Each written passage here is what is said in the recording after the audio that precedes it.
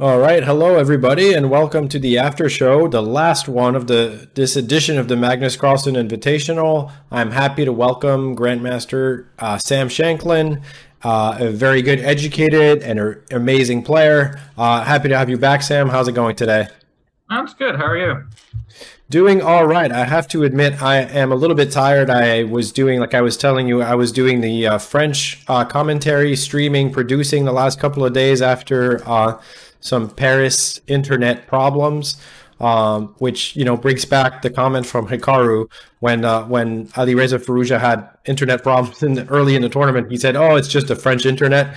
So this gave some uh, credence to what Hikaru said, uh, which is not something that we want to do, but you know it happened. So, um, so yes, yeah, so I was helping out. I'm a little part guy. Yeah, yeah, there you go. He knows he knows best. He knows all.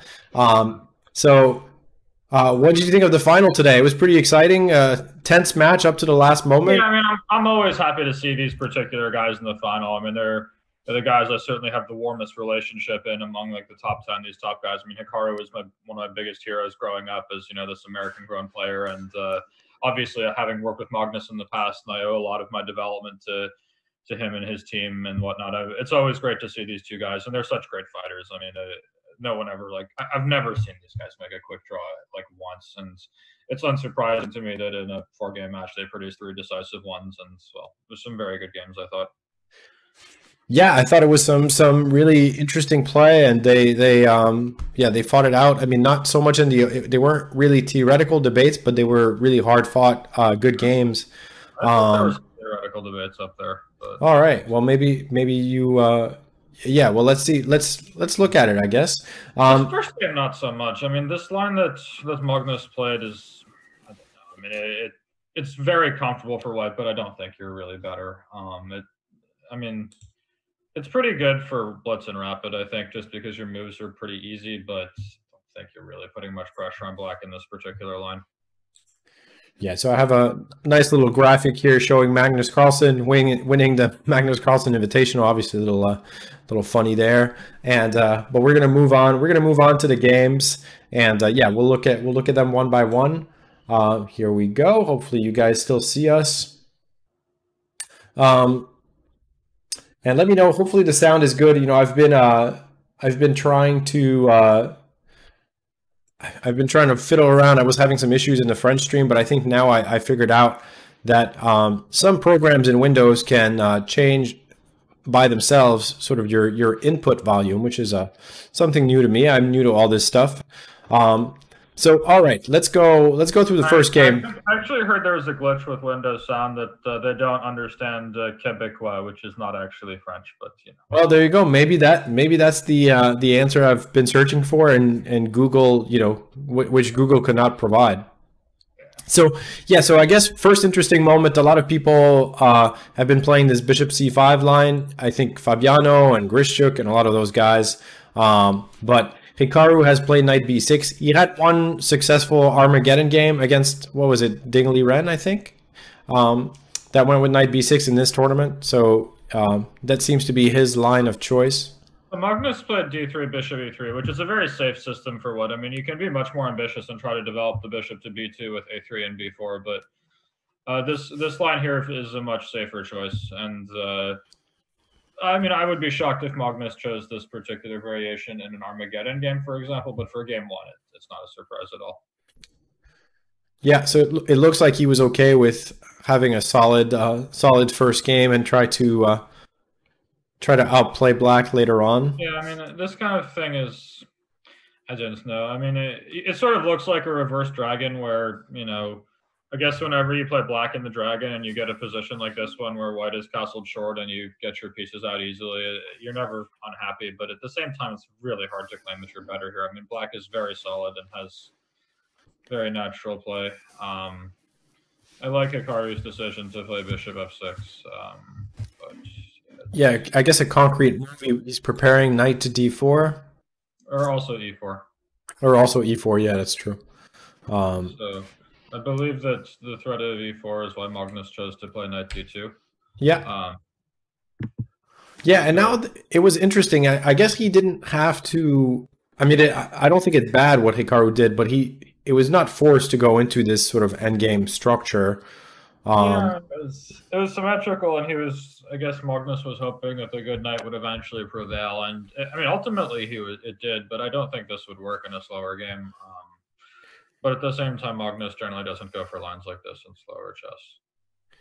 Yeah, this this looked like um, this looked like something where you can kind of play forever with white, especially with the knight, you know, hopping around for a rapid game. It's it's pretty hard. It's a bad bishop is the problem, and a potentially yeah. on d4. If like this bishop was on e6, I would say black is like better, but uh, but it's a bad bishop, and this is something that Hikaru never really managed to solve. I was I was thinking he should be looking for some direct way to to, uh, to like force pawns off and start exchanging. I guess he couldn't have played b5 last move very comfortably for some reason or another. I don't know, but um, I was yeah b5 here. The I think the problem was king f3, and um, well, it's not that it's a huge problem, but the you know.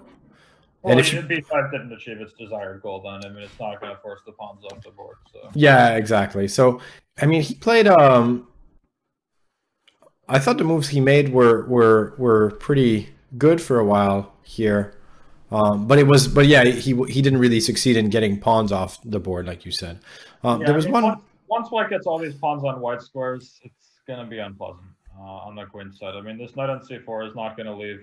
It blocks the c file. It controls all the key squares on the e file, and basically white's gonna choose when the position is gonna open up. And so, Magnus, if you look, he's playing he's clearly planning on invading using the C file to invade, but he's also not rushing it. He can play rook c2, king g2, king f1 is needed first, and then eventually he will move this knight away. But basically, the E file, he's got everything under control. The only file that anyone can use is the C file. And while the knight on C4 is blocking it now, because that knight is white, it's white's choice when this knight leaves, and black can't take it in any way or force him to make a decision under unfavorable circumstances. So mm-hmm. I don't know. I mean, I, I, can't imagine black is really much, much worse here, but uh, I think practically you take white. Yeah, it, it is uh it is hard to believe, but it's uh B6 is a very interesting decision to me. It's yeah, you, you thought he could be maybe more patient and just keep waiting, kind of. Yeah, but it's possible that Magnus was just was worried. Like, I mean, rook e1, rook a1 with tempo, other rook to e1, and checkmate. Like, this is not joking around. That could come sooner rather than later. So I get why he felt the need to change course pretty quickly here. I mean, it's not like he's terrified of getting made in the next like three moves, but it, it could happen. And yeah, B6 is opening the queen side fast enough that you could see why this won't be so effective. So yeah, here and then F4 also, this is clearly a sign that he was worried about the rook invasion. Yeah. Um, and here, trying to think of what I I was obviously analyzing this as it was happening, uh, but things started to happen pretty fast. I got someone in the chat saying I have to look up where Sam is from. His pronunciation of Magnus is is unique. I'm from the Bay Area, California. Uh, my pronunciation of Magnus is uh, I'm trying to pronounce it the right way, like a Norwegian would, but I just can't, and I'm doing my best. So. Uh, just is, typical California American accent. That's what is. Uh, is Shankland a Norwegian name? No, it's actually a Scottish name. Oh, I, I was kidding. I, I, well, I, I definitely knew it was not Norwegian. I would have guessed. I might not have guessed correctly, but I would have guessed some sort of UK related country. So, all right. So, uh, yeah, he goes bishop d8. There were some maybe some other possibilities here, but it's uh, the game gets sort of simplified a little bit um, to this position where they only have they have very reduced material, but it's still kind of tricky for black. I thought this was still a tricky position to play. I actually remember losing an endgame like this years ago. Hang on just one second. I got the door. Just a second. Oh yeah, no problem. Yeah, I, I remember myself losing an endgame like this uh, when I was a kid. Like maybe I was 15 years old to a to another grandmaster, and uh, and I thought, I remember thinking like, you know, how stupid I was to to have possibly lose lost a, a, position like this where it's so little material.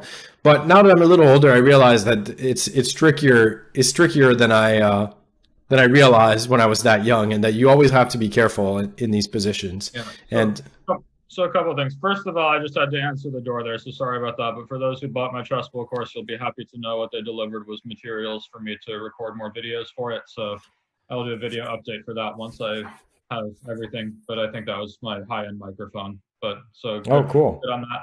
But also, basically, a position like this one, it feels like this game went sort of in a way that both sides could be happy with. Like Black was under a little bit of pressure. I think he's clearly survived it to the point that he has reached a holdable position. But at the same time, White's also got a game that he can play forever, where there are sets of exchanges that will leave Black in a very bad way. For example, I believe if the rooks come off, this could be very dangerous for Black. Like, I mean, if you can imagine, rooks come off, like goes King F3, Knight E4, G4, goes makes a past H pawn. I mean, even then their material is reduced enough that I believe it's probably a draw, but you could easily see something going wrong for black. And uh, so, I mean, white's clearly better at this point, but the material is so reduced that I think that black's drawing chances are much higher than white's winning chances. Still, I, I think there's every reason for um, for Magnus to be satisfied here and keep pushing. In classical, I think there's no way he ever loses, but uh, Eric Hikaru ever loses. But in Blitz, this is rapid. This is very tough.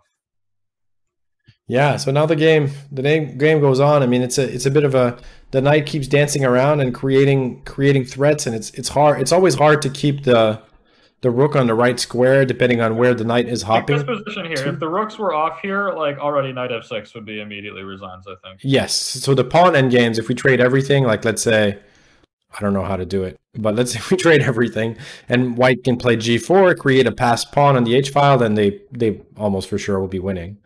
Um, so, so yeah, so the pretty much um, trades of minor pieces are not as bad, but any trade of rooks, uh, and then if it's followed by a trade of minor pieces after that is is definitely bad. So I really uh, liked what Magnus did in the next two moves. So this rook on a3 is extremely annoying, and he played knight d2 to kick it away. And it's not the knight on e4 was on a bad square, but now knight c4 is a very serious threat. If bishop e5, there is knight f1, so the rook has to go to e5 in order to go away and then um, the knight goes back to e4. And so it's not like the knight was on a bad square per se. It's just he forced the rook away and then right went right back where he came from. So by playing knight d2, rook e5, knight e4, it's almost like in this position instead of playing knight d2, uh, white picked up black's rook on e3, placed it on e5, and hit the clock yeah. and said your move again and your rook is displayed. I thought this was a very nice way. yeah, this was it was really nice because it also I mean, it, it, acknowledged that Black had an idea. Like Black wants to play either like King F5, King G4, Bishop B5, Bishop G3. There's there's ideas, and this well, forces the rook to a much. Yeah, I mean, if Black plays Bishop B5, you're completely stuck. You just have to start playing. rook yeah, and making a draw. Exactly, and so this found a really clever way because, like you said, if if Bishop B5, Knight F1, the rook is trapped, and this is really clever. And um, so yeah, so he manages to, to like you say, change change the position of the rook and put it back on e5, and then already it got to be tricky. This is already yeah. trickier for for, for. I think this was around the point where I woke up in the morning, and I believe around here I thought Magnus was going to win. Um, yeah, but this was the first time I would have thought so. There, up to here, I would have thought that the position, while their chances, it should be defensible, and uh, now while I think the defense has gotten hard enough that even for someone as strong as Hikaru in a rapid game, I think it's going to be very, very hard to hang on. Yeah, I don't know if King G4. There's a there's clearly a point where things went uh, from you know being a difficult position to hold to just being bad, and I don't know if it was here or later. Frank, okay. this is still okay. Yeah. Yeah, he gets the D3 pawn now, or, or he tries to gets one of the pawns. But yeah. yeah, well here, but here it got here. I think it got bad, um, and I don't know. Difficult though. I mean, um, because here Magnus, I don't know if he calculated it or, or I mean, he, he probably calculated some of some of this, but it gets, you know, after Bishop H3, Rook H5. Uh, here, King G4 was holding, is what I'm told, and that was the only way. King G4 here. Yeah. That's yeah. And so if we play knight f6, there's king f4, and I guess it's okay. Yeah, now their star checks are going to come. Actually, maybe king h3 is even fine. I didn't. Yeah, sure.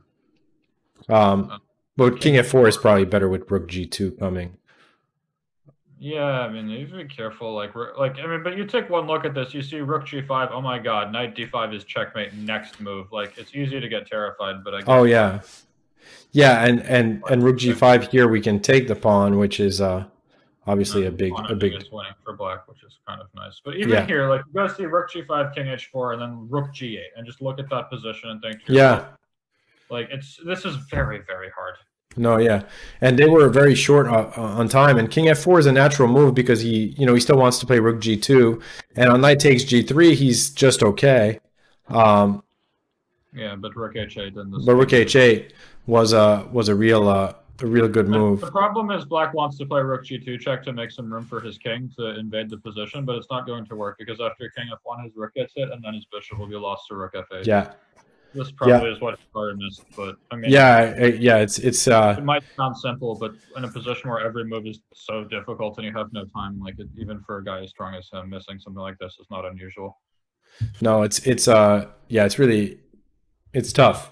Uh, but so in the game, the the the end is very nice. There's a very uh, nice trick um, at the end here to win, which was you know uh, not so easy to see in advance. But the only way to win is to play Rook G8, King H7, Knight F6. Sorry, was Knight G5 not winning? Uh, oh, good. That's a good question. I thought this one. Maybe it does win actually. I think it's almost certainly wins. It's yeah. coming next. Yeah, it's the same. It's the same. Uh, yeah. It's the same idea. You win the exchange, and yeah. then um, because black's pawn is fixed on a black square, uh, he's lost. If the pawn were on the same color as his bishop, uh, it would be a draw. Or opposite color as bishop, yeah. And so, uh, yeah, I was wondering if he could have tried king e7, but I guess it's it's going to be a similar. Instead, no, like at this moment, Okay, rook f4, rook e4, and then king d5 comes and we'll easily transpose to a winning end. It's not even close. Yeah, yeah, that's right. So I, I mean, I just thought it would be it would be sort of more because uh, if you play it this way, at least your king is closer, you know. So we okay, can get here. We have to be at least a little bit careful. Yeah, I mean that was my idea. I'm sure. I'm sure it's losing. I just, you know, obviously you're not gonna. You're you probably have a better way to handle this than what I just did. Start with um, king d6 is a good stuff. Or, yeah, king d6. King d6 is actually very strong because that forces. I guess I still have bishop f2 here or bishop g. Oh, bishop g1, rook g4. for example, here I can probably now play king d5, and then uh, when you come up with your king, I'll be able to play rook f4, and then your king will right. put up the back rank. And yeah, yeah. Actually, rook. At, I can't go here. Rook f7.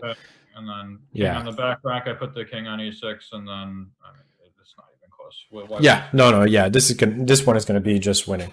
So, um, but yeah, so nice, uh, nice end game from Magnus. Not not as easy. You know, I think some might have thought if you're, uh, some might have underestimated the difficulty of of trying to hold this for black. Um, also, like, I mean, you know, Magnus. I don't want to say he can't attack. He's mated people, but honestly, like this, this is the kind of game that makes him the best player of all time. Like this is the he manages to put so much more pressure in positions like that than anybody else. I mean, yeah, that is vintage Magnus, I guess.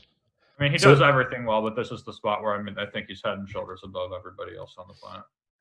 Second game, Hikaru interestingly chose to play Bishop f4, which he's defended uh, a lot as black in this tournament. So he obviously knows both sides of this very well. Yeah, and so I was very surprised Magnus went for this. I don't know the funniest thing, Hikaru gets clobbered playing this line with Black repeatedly, and then Magnus is one of the guys doing the clobbering, winning two games pretty easily with White both times. He's like, "Oh yeah, let me go try playing the other side of this." I just don't get it. I mean, I was very surprised, and it was this. I don't think the opening necessarily decided this game, but it kind of did. I mean, it was. Uh, he had a tough. Fun, I've checked this stuff before. Like in classical, you can sort of swing it, but in rapid, it's just. I mean, like objectively, it's pretty close to equal if you, or maybe it even is equal if you know what you're doing with black. But practically, like it's so much harder to play the black side. I mean, like I played the only time I got this line was with Ding Liren in um, World Team Championship, and like I was fine for almost the whole game until I finally like blundered at the end and he won. But it was like that whole time where I was fine, like uh, he had, you know, like his tenth best move leaves an equal position, and my second best move leaves an equal position, and like every time he doesn't have to do very much, and for me, like the burden of playing the best move is very high, and it's a hard way to play chess like this. I mean, it's a yeah, I I hate I hate all these lines for black. I gotta say, I just don't. I, I could never play this stuff. It's just so so uh, so painful to see you know, with white all the space, and there's not much that can uh, go wrong for white, and so much that can go wrong for black. But of course, some extremely strong players, much much stronger than myself, have defended, you know, these positions. Kramnik, yeah. Radjabov, but um, also for Magnus, like for what it's worth, it just, I mean, it, this whole extremely nitty gritty thing. I mean, Magnus might not feel that comfortable with giant messes, but I do think he does better in somewhat dynamic positions. Um, and he's outplayed Hikaru a lot over the years in messy games. I mean, it, among other things, like if you remember, I mean, he's played four World Championship match. Two of them he was on bad form, and two of them he was on good form. He of the matches where he was on good form, he lost one game. It was in this line, and he got completely clobbered. And like, mm-hmm. apart from that, he just played an amazing match. But I don't know. Yeah, he's much better than me. I shouldn't be criticizing his decisions. This is a, a and this, you know, for, for those who are not so familiar with this line, it's pretty interesting. Like White is happy to give up the A file and say, you got a file, but it doesn't really do much for you. And um, and then it's about. Yeah, I mean, my understanding of these positions is White wants to trade exactly one pair of rooks, leave one pair of rooks on board, and trade the other pair. Right. Because Black will take the only open file. Uh, if Black ever takes on C5 and White gets an open file too, Black's going to end up worse. But basically, I believe White's best plan is to do something like H4, eventually get knight E5 intake with the D pawn, uh, and get your knight to D4, which would be very effective in helping push through with like sacrifices on E6 or get F5 through. Or once Black has played H5, you can start playing G4. But a big part of that is if Black is doubled on the A file, uh, he's going to have a fair amount of pressure. That's why you want to trade off exactly one pair of rooks. If you have one pair of rooks off, he can't really do much to you on the A file. And if you have both pairs of rooks off, you don't have enough material to win the game. So I think white needs to be trading exactly one pair of rooks. Mm-hmm. So that makes so, sense. Yeah, no, that makes that makes sense. So in a game, they uh, yeah, and Ma- Magnus despise b takes c5. Yeah, I, I was going to mention that b takes c5 is if you're if you're going to look for a culprit in this game, maybe this move is where things start to go a little bit wrong play this move. I mean, you it's like a, you have no space. Like it's bad bishop, potentially weakened king after h4, h5. The only asset that black has here is that he controls the only open file. And yeah, I mean, I he opens up a second one. It just yeah, I think he plays it. He plays it, it. It is a little bit hard to have over your hanging over your head that b5 could be playable at any point, but yeah. you just got to live. I mean, and sometimes it is a, a move in these game in lines, but uh, yeah, it seems like here the uh, I think he, he may have misevaluated um, the the resulting position here. And I, there was one move that I thought Hikaru made that I was really impressed with. And maybe it's maybe this is an obvious move to Sam, but the move here on move 29, Queen C3, I, I really like that move a lot. Um, and uh, the idea is simply to play Queen A3 where where but you need to get to the A file, you need to defend your knight, and it's just a perfect square for the queen. Um, and after that, the queen can come to a7. It's or natural, it's a very natural and very intuitive move, but it's one that, at least for me, I'd probably take some time to find. While Hikaru, he's the kind of guy who finds this immediately. I mean, yeah. His, his feel is absolutely out of this world. That's what makes him the player he is. I mean, and now I think this move h5 might have been the other sort of imperceptible uh, mistake because yeah, later on yeah, and sometimes you know sometimes if white plays h4, you'll kind of naturally play h5 back. But playing h5 without even having to yet, um, it's actually potentially a, a, problem. And in a lot of the in a lot of the positions uh, that result, like the fact that the knight can come to g5 and take on f7 is a real problem. So I don't know if there was. It's not a h5 generally is played after white plays h4 because you don't want h5 to come from white. And the biggest reason for that is you don't want to get murdered on the h file. But with all the rooks gone, I don't think that's relevant anymore. Yeah, so I wonder if if he kept the pawn on h h7 if it would have changed something. But here, okay. um, queen a3, black doesn't have a lot of moves. So white's plan is to play queen a7 at some point. Uh, but I don't know. I don't know that there's a lot of moves. So he plays king g7 knight e5. Now this this was actually really interesting. We were looking at this in the analysis room. Um, what, king have enough room here? Doesn't look like it. Well, it's it's it's compl- it gets really complicated. We actually um, well, bishop d4 is made after knight g5. Yeah, bishop d4, knight g5 is just bad. But there is there is the move queen e4, and it gets just really messy here. Um, yeah, white's king doesn't have quite enough room, but like Yeah, like queen c6, and then I think we looked at uh, bishop d4. H4 might have been legal as well. Yeah, may, yeah, or h4 is possible. Yeah, h4. I think we looked at takes. And then Um, four. And then queen takes f4, then let's say something like queen d6. Uh, okay, that's clever. yeah, I mean, I don't know. It, it was really messy, and I could see that he wanted something more concrete, but it was interesting. But he plays knight e e5. Yeah, Um, this, is, this is ugly. Yeah, and now the knight the knight on d7 is just uh, is just a worse worse version. Uh, but Magnus found something uh, clever here, or at least it's, it seemed to be clever, where he um, he put his queen on f5. But unfortunately, the knight endgame is probably there's not really a way around it. White is you know can play f3 somewhere soon. Um, well, but F3, if you play after the king doesn't get to F4 so fast. That's true. Uh, so maybe he should have just like made a waiting move then. Like I don't know if the Show me Huh? a waiting. Show me a waiting move. I'll try. So what if I do knight h7? This has to lose. Hang on. Um, Well, I guess the question is, can we play the pawn end game, right? Like, I, I think you can. Yeah. yeah, the pawn end game might just lose for whether we take this way or the other way. Yeah, because the the king on h7 is actually getting farther. Now we can go. Yeah, just have to be careful. Always mate G5 with F4 just to be safe in that. Yes, so that we don't get into one of these. Like if black plays here, here, f4. If my king is on a6, could be very painful. So, but on g5 we can play f4, and the king will never get through. White, White's king gets there in time. Yeah. So yeah, so it's not not an easy position here for for black, uh, and this knight ending uh, was very very difficult for for black because um, because the c I, I mean pr- yeah it's probably just it's it's just losing I think is the yeah. Uh, eventually, the, the knight is forced to defend the c6 pawn, and white has. So basically, white is playing. You know, the only way to defend it is from this square because he can't get to e7. Yeah, and then- you can't knight to E7, it's completely. Yeah, and so then uh, the knight is extremely passive, and uh, white basically has a winning king and pawn ending. So Yeah, I mean, you go F4, knight E5, and then basically here, white has, uh, after knight E5, what did he play? Knight B8? Knight F8. he played knight f8 because yeah, this is Second B8. Basically, here, white has three winning moves king B6, knight G6, and knight C6. Choose two that you can stop. right. You can stop any two you want, but you can't stop all three. Yeah, Uh, Yeah. and It's, yeah. no, this is just. Uh, so he he decided to to to give a pawn, uh, but it doesn't. It's just uh, yeah.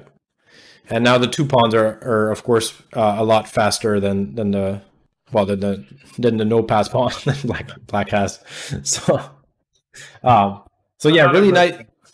but Yeah, no, and and sort of a in part uh maybe a dubious opening choice. Just not dubious in in uh in uh, substance, but just dubious in style for for what he wanted to get out of this game. well, by Uh, Magnus standards, I mean this is better than playing H5 in the Rossolimo. It is. It's more solid, but H5 at least is more uh, ambitious.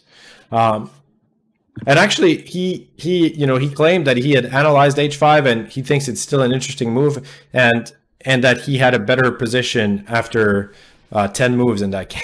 that's that's what he said. He might be he might be trolling a little bit, but you know, Or a lot bit. or a lot of bit, sure. Magnus is a born troll. Uh, yeah, my, If he, was, think if he wasn't the best chess player in the world, I could see him like easily having his own like prank channel or something and being really, really good at it. Yeah, no, I I, I know. Um, and but he did tell Jan Gustafsson that he has a file on it, which I thought was a joke. But you know, who knows? Who knows? You you you decide. You be the judge. Um, people at home. So here he played. Uh, so they go into this bishop f4 line again, uh, but this time with Mag- Magnus having white. Uh, so it's kind of funny. He, I mean, he played c5 twice, crushed Hikaru both times. Yeah. He tried playing the black side of this, had an absolutely miserable game and lost. He was like, "Oh, let's play something other than c5." Yeah. so so he plays bishop e2. Yeah, I didn't understand this because. Uh, I mean, this 2 is not a bad move at all. Like, I think White still has every chance to fight for an edge, as Magnus clearly showed this game. But it's like, I don't know. Yeah. Well, this game was this game I thought was really impressive from from uh, from Magnus, and I don't know. I, I really don't. Which is unusual. You yeah. Play six first. They play a6 first. You said. A6, A4, and then C5. Yeah, and I wonder. Apparently, the the the position. This seemed to be uh, a little bit of homework from from Magnus in this line with. Uh, yeah, and so maybe a6, a4, and I wonder if he was expecting c5 because he did play everything, or maybe he had just prepared it for for whatever game. Um, he did play all of this very very fast. Apparently, there was one game like Andreikin, Wojtaszek Andreikin, um, with White playing knight g5 here, um, and and the rest like uh, this bishop takes e6. He played quickly, so clearly was some preparation. And I thought he played this game uh, incredibly well. I was really impressed. Knight uh, is very strong. My guess is my guess is without that move, white is worse, and with it, I think black is in trouble. I don't know if this is preparation or not, but knight e4 is a very important move. Like if yeah, black gets b7 and stops you from doing that, like damn, your position's gonna suck. Yeah, basically this takes the bishop pair away from black by force because he can play knight d6 next if if that bishop moves. It also this also it fixes the problem. It trades off a very bad knight. Like if black plays bishop b7, that knight on c3 might look nice, but it is blocking your c file that you need to make use of your rooks, your heavy pieces, and it has absolutely no good score to go to. Like you're trading off a very bad minor piece essentially. Um, yeah, so there there were a lot of variations here, but um, but I thought Magnus played really well. Uh, yeah, he this after e4, take one look at that bishop on b7, and you get very worried for black safety. Yeah, white is threatening or wants to come in with rook c7, um, and none of black. The knights are not particularly well coordinated yet. I mean, they're uh, they don't have good outposts anyway. Uh, and uh, yeah, I mean, Hikaru didn't do anything that was obviously wrong. I mean, it's hard to avoid getting into the kind of position that he gets. I think after 96, uh, basically playing Queen E7 and Queen F8 had to have been wrong because of 94. I don't know what he could have done better, but that allowing 94 like that felt very wrong to me. Oh yeah, well maybe yeah. So I, that would be all the way back here. You mean yeah? I think after 96, he had to do something other than this. I don't know where the Queen should go. Maybe B6. Yeah. Yeah, I mean, that, which is why it's hard to. I don't think like all of this was preparation because there are so many ways for Black to kind of get their pieces out yeah. and capture on f8. So that's why I think uh, Magnus must have just thought that this was a, a decent uh, position for White and gone for it. So I don't know how much of it was prep, but it was. Uh, made a pretty convincing case for it in the game. Yeah, very much so. Um, so Hikaru got a pawn to to um, a pawn for his woes, so to speak, but it but it uh, the position stayed really tough. And they get into this end game. And here, um, first of all, bishop b4, that was the first sort of key move. And Grischuk, I think, said it's the something like the the move of the match or something like that, which seemed a little uh, a little uh, hyperbolic. But, but I also think it's an extremely obvious move. I mean, yeah, I mean he he he retreats his bishop to a square where now it stops a5 forever, and so this pawn majority is rendered kind of useless. Um, well, ineffective for the moment. Yeah. Ineffective. Yeah. Ineffective is right. And, um, and then he goes on, he proceeds, and there, but there's a couple of other moves that I really, really like uh, in this ending. So far, there's been nothing interesting. This is very straightforward. But yeah, yeah. The big move for me was um, so. Of course, uh, one of the big things is whether White will be able to play f4 easily or not. Um, but in this position, actually, is a move. This move I really, really like, h4, which maybe again is to some people is obvious. Of course, it's not a complicated move, but this move is really strong because it fixes the pawn on h5, which becomes a real weakness. And um, yeah, I mean, it's just you know, because I, I was tempted to look at ideas with h3 to take the g4 square away from the knight, uh, but h4 is just uh, is just really strong. The biggest reason for this move being as strong as it is actually is that it clears g3 for the bishop. Right. That's another. That's another. Uh, uh, another factor. Essentially, here what White wants to do is get f4, f5 through, and if he can do that favorably, he's going to win without any discussion. But as soon as he plays f4, uh, he's going to have some issues with the g4 square, and uh, he will potentially lose the h2 pawn and whatnot if he plays h3, that's also not particularly pretty. The pawn is a massive weakness. So h4 is a good start. And then what he's going to need to do is get this knight off of e5 before he plays f4. And I think the best way to do that is to transfer his bishop to g3. So I think the real reason that h4 is so strong is that it gets this bishop on d4 over to g3. Right. So, another good reason. Um, yeah, and so here bishop e1, like you're like you said, you know, transferring a bishop, also protecting this pawn, and uh, and the h pawn is weak too. And now uh, Hikaru went for a tempting diversion that just turns out to be a, a, a, bad move. But I think the position was already very, very difficult for him. I mean, uh, you give white two moves to play bishop g3 and f4, and you have to resign. I mean, it's easy. Yeah, yeah. Even maybe b4 first to stop a5 if you want to, but yeah, no, it's it's a. Uh, but I mean, it's kind of hard to imagine. Like if if if white gets a four through, like you're so dead that you have to try to do something, but it I don't know what that would be. I mean, like a5. I mean, Hikaru, I guess, was trying to buy some time or something, uh, but this just doesn't work. There's a lot of problems. Like even even rook c6, bishop b7, rook b6, like improving the position of the rook. There's just a lot of a lot of issues for for for black. Uh, but after a5, rook d5 is very strong and it, it attacks all of the pawns. Uh, and now things just collapse. Rook takes h5 was a nice move, uh, removing that pawn before switching to the other side. Um, and now black, this this wasn't the only way to play, certainly rook g5, but it was good rook enough. G5, that's as cool as a cucumber move. Like, I don't care. AB3, do your worst. I mean... Yeah, I, I mean, I was, ex I was expecting...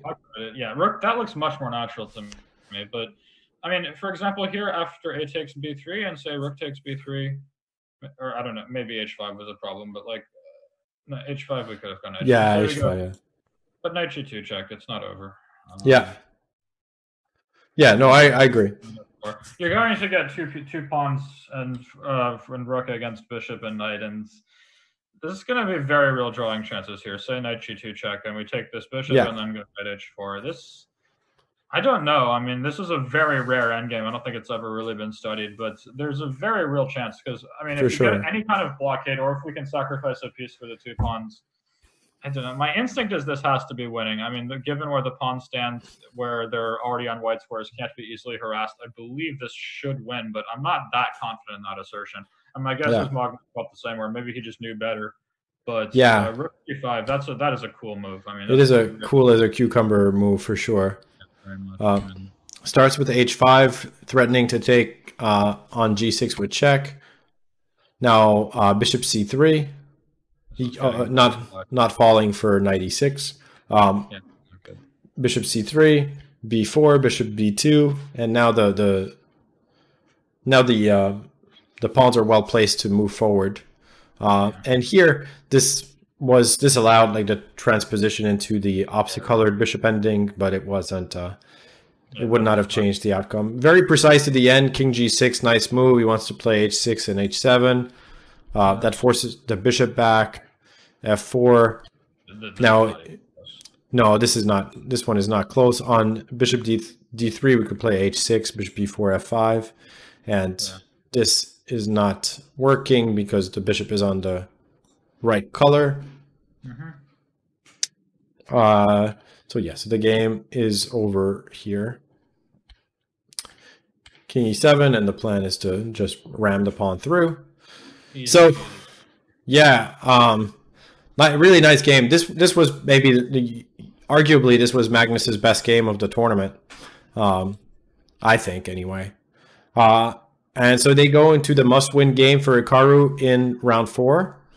And uh, Magnus chooses an opening that is part of your Semi-Slav repertoire, right? Yeah, well, so he played a little differently than I was recommending, but it quickly ended up in something normal. So here after knight d2, I covered the move bishop b4 in the Semi-Slav repertoire, which I will uh, actually spam into the chat here uh, for people to buy.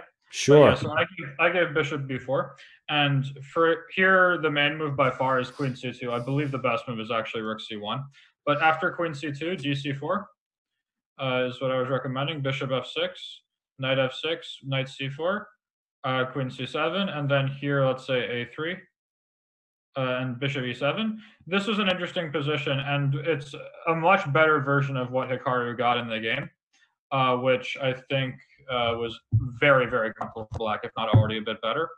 Here, this is uh, there is some debate whether black's okay here or not. I believe he is, and I've provided some analysis to hopefully prove my point reasonably well.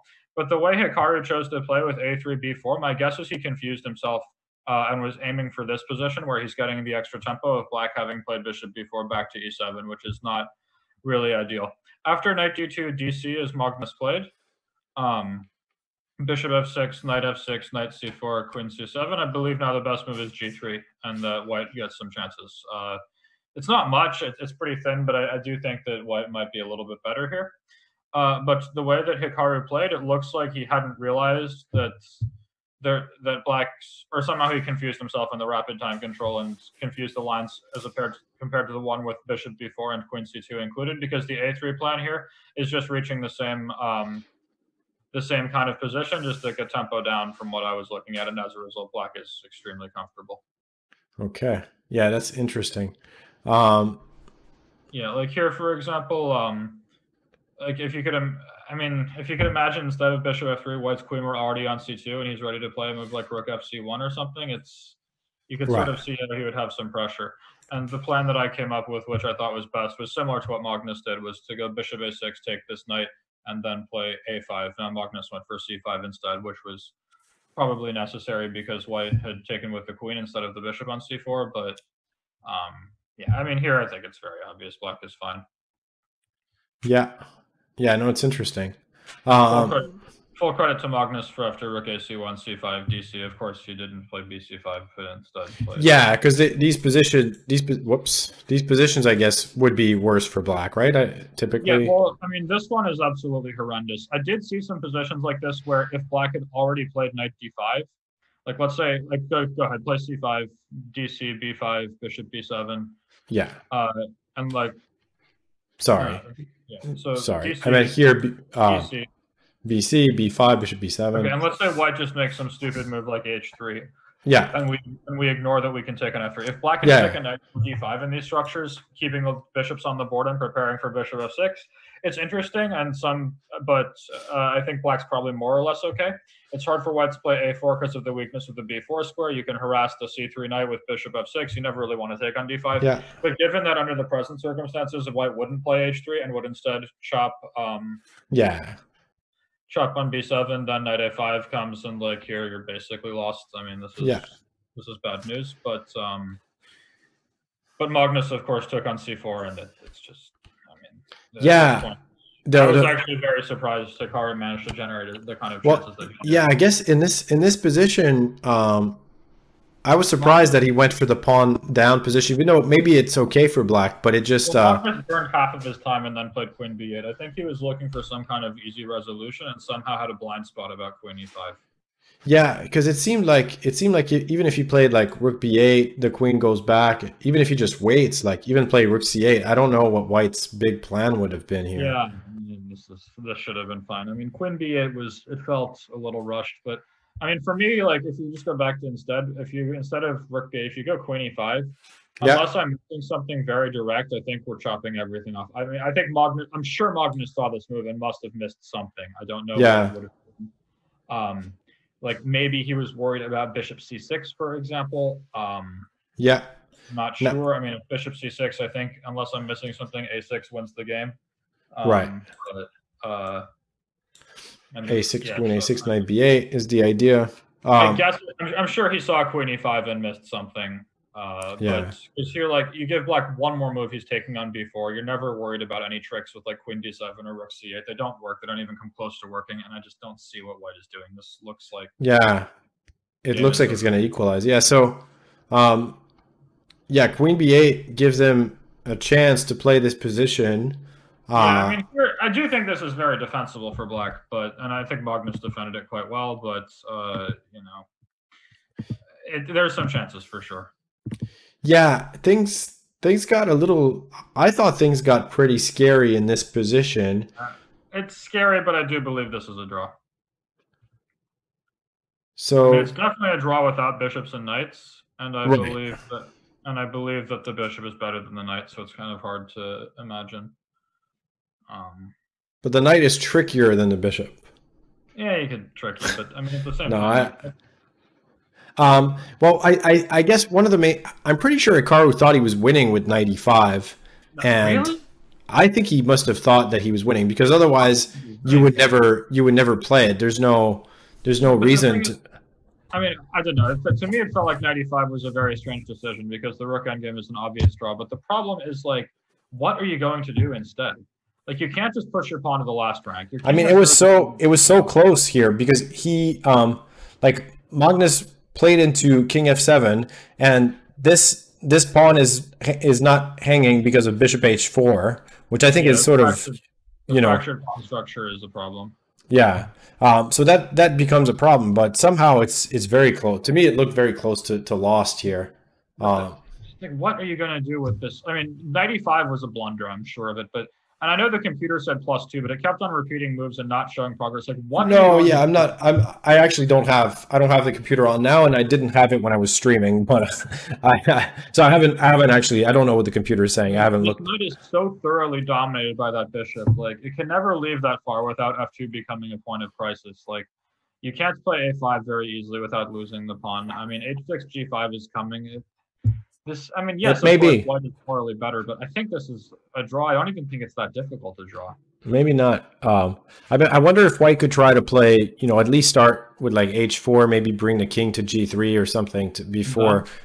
I don't know. I mean, Yeah, I mean, I'll eventually. I might be able to to take uh take a pawn, take a pawn somewhere. Like, if you if you can go like king g3 h4 force black to play h5 and then at some point go knight e5 when you have king f4 king g5 available then i could sort of see this And at some point, I might play, you know, a5, a6. Also, I don't know. Um, yeah i mean i i mean white's obviously much better with the pawn but i do believe this is a draw and i believe it's not that difficult to defend Um, it's true that one of the big problems is that the knight is not stable, and that there's always sort of concrete chances of getting the bishop to I mean, e1 or something like that. That the problem is the bishop is a better piece than the knight and that if you Yeah. trade the bishop for the knight like it's going to be a draw so it's like well Yeah, what so are you going to do like, continually play with the worst minor piece or reach a drawn rook endgame and I, I just don't i don't see it someone someone in the chat here is saying that this should be the pl- Grischuk was saying that this should be the plan, which is Yeah, but go interesting. king b1. In the meantime, like I'll just give you five moves in a row, and after king b1, play rook d2, and then take all of your pawns. I mean, this is not. Well, yeah, no, I,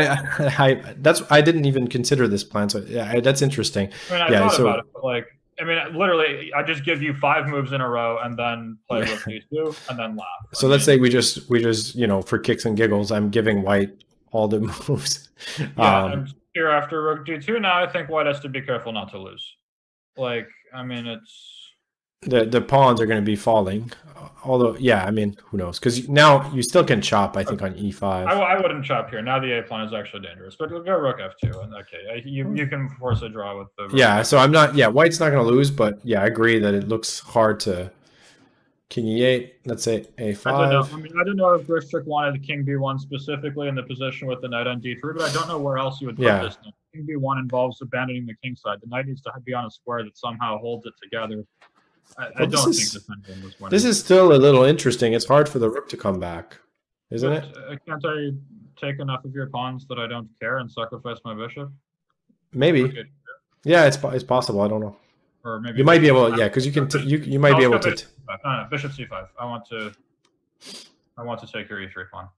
let's say I take this one because I might as well take a pawn. Yeah, so you're going to take a lot of them. Is your point? Okay, sure. Rook f4, Yeah. Now the rook is coming, so I have to play a7. I think. and then rook takes bishop Yeah. takes a7, and you're ne- you're never winning. Yeah, no, that that one is not winning.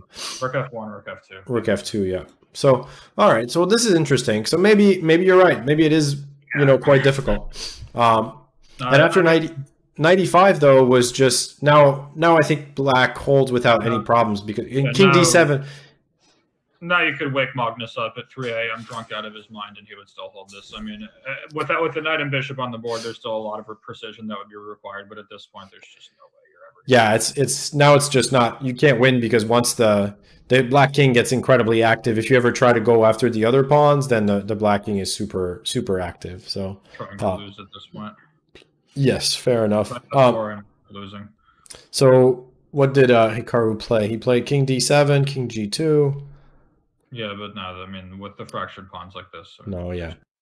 And the pawns uh the, the black pawns are black is making more progress than white here of course uh Hikaru's just kind of trying to keep the game going, but uh, yeah, but good luck at this point. Yeah, now there's uh there's no uh, no chance at all if if you run uh, if you run that way. Uh, yeah, put your king on d3 and end up getting promoted upon. Yeah, like if you already if you go king e2, I think pawn takes h3 is already winning because now the the pawn is this pawn can't be stopped. Well, this one is stopped, so um, so I think it's already losing. Is this uh, winning already?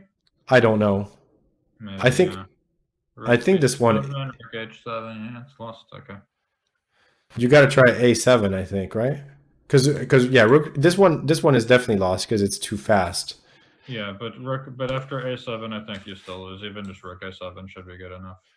Yeah, and I guess you're saying that this is going to be lost, yeah. And back on a2. Yeah. Now you're well, and then after like okay, now rook g2, get the rook to g3, and then yeah. oh yeah, no, that's yeah, that's that's that's a disaster. Yeah. Yeah. So so of course Hikaru agreed to a draw here, uh, unfortunately for him. And Magnus uh, survives survives and wins. all the guys who are saying Naka missed the win in the endgame, that's because the computers, uh, Stockfish specifically, always misevaluates. It always believes White's winning when he plays Rook A8 and A7 in every single position, and it's always wrong.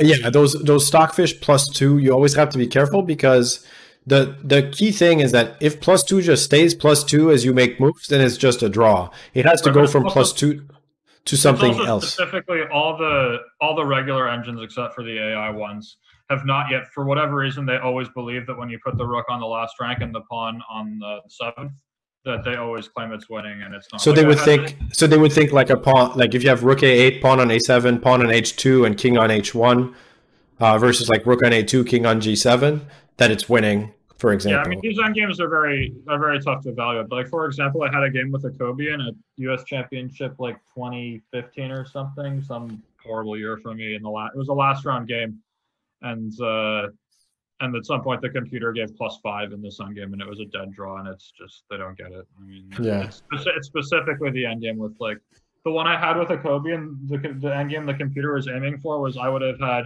e3 f4 g3 h4 and a pawn on a7, and he would have f5, g6, h5. So I even have an extra pawn. Uh, and he goes king g7 or whatever, and rook a1 against rook a8, a7, and this is a draw.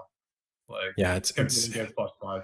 It's interesting. And t- today was a was a real uh, fight, a real end game fight. Like we had games, uh, all the games had no queens for for most of the moves. I think so. Pretty pretty interesting that we got so many end games. Um, I guess before we end, I, I want to say a few things. First of all, um, first of all, thank you to our sponsors. Like we we had uh, for the after show, Millennium uh, was our sponsor. They um, have uh, really cool chess sets and other things that you can check out, among other places in our Chess Twenty Four shop. Um, this was a this was a long tournament, but it was really fun. I think for everybody watching, uh, it was a lot of work for for some of us. Uh, but if you do enjoy, you know, the, the, the content that we produce, I encourage you to go premium on Chess24 because that is basically the main way that we make uh, our money. And so, even though we offer our content for free, if you are able to offer it, um, if you're able to afford it, you know, we really appreciate it. And you also then get access to a number of things like uh, video series from everybody from Magnus Carlsen to to Jan Gustafsson and those guys. Um, you also get better. Even Fressinet if his internet is working. Even if his internet is working, indeed. Uh, you also get to play the the players like Sam, uh, Sam, myself, and uh, Alireza, Magnus. When they play Banter Blitz, we only play against premium members. Um, so there's a lot of good reasons. You also get better evaluations if you're following broadcasts. You can download PGN files after the games. All that sort of. There's a lot of of good stuff that comes with it. Um, so yeah, and uh, I am soon going to go rest after a long tournament that was that was uh, amazing. Magnus somehow pulls it together, wins. You know, after a couple of uh, difficult matches in the, the, prelims, but you see that he he uh, he fights and doesn't like not winning. Any any parting words from you, Sam, before we uh, we end the show? No, I think this was great. I, I certainly enjoyed doing the broadcast with you. I certainly tried to bring the best uh, high quality objective and fair analysis i could i tried to call it as i see it all the time um, but uh, you know just good stuff. I would just say to the government of France and Paris, you need to get your internet better for Monsieur Fressinet. But other than that, uh, we're good to go. All right. Well, th- thanks a lot, Sam, for joining us. A lot of days, uh, a lot of days during this event. Um, check out Sam's course too. The, the on the Semi-Slav. It's it's yeah, quite Magnus possible. Has been, Magnus has been copying it to some extent. It's been coming out in these games here. You know that these guys are for real. Uh, there were so, two. There were at least two like moments where it, it certainly seemed in this tournament that they were going through your course, which is already a lot. So yeah, two so events. So if it's good enough for these guys, which I mean, of course, we don't know for certain, but they were uh, playing a lot of the recommended lines. So if it's good enough for them, it's good enough for you. You can buy it. I'll just spam the link at you guys one more time, and then uh, hopefully you'll knock my sales up, and I'll go, you know, buy my own private island in the French Polynesia or somewhere. I was hoping you'd say private island and not private jet because those things are just silly. Um, no, but yeah. maybe I can buy Newfoundland. All right, Newfoundland. It's not for sale. A lot of natural resources. Um, it's big. It's it big too. You wouldn't know what to do with all that land. Exactly. Not. I wouldn't want to. I don't think I'd want to live there anyway. But, yeah. uh, you would also be the, the the butt of the joke because you know, like in in Quebec, that's the main. You make fun of uh, people from Newfoundland is like the. There's an American equivalent, like I don't know, like whatever people are used for jokes, like for you know, kind of like a blonde or these sort of stereotypes. Of Valley course, girls? it's not. So, like we make whatever. Girls, that's what you're describing. We are, as you can see, we're all tired and how we're we're descending in the quality okay. of our content. So we'll we'll end it here. Thanks everybody for joining us. I look forward to the next event. We may have some fun fun announcements in the next few days. I'll I'll just leave it at that, and uh, and yeah, we'll see you all very soon. Take care.